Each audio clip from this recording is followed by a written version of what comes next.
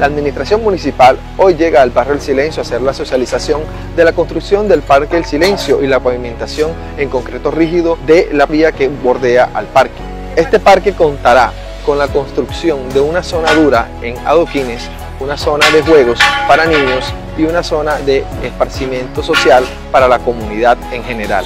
La administración municipal realiza la inversión de 528 millones en la construcción y pavimentación de este proyecto en el barrio del Silencio. Este proyecto está lleno no solamente de discusiones y acciones de obras civiles, sino también de un trabajo social con la comunidad, en el que también integramos a los niños, jóvenes y adultos mayores. Con esta obra buscamos el mejoramiento de las acciones sociales de nuestra gente. Bueno, la Alcaldía Municipal de Puerto Colombia nos ha ayudado para mejorar la calidad de vida de todos los habitantes de este sector, eh, tanto a los adultos como a los niños que, eh, viven en este sector y queremos que eh, este sector se valoriza con el tema de la pavimentación en concreto rígido alrededor del parque y del parque.